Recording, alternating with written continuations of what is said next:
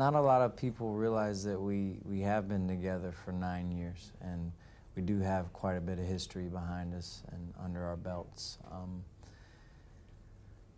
with this with this album, we called it "The Hits Chapter One" because we wanted to let people know that we do intend on making more music together. That this greatest hits is not the end of of our career together, um, and we wanted to to leave people in their minds the the end of one chapter and the beginning of another chapter. So.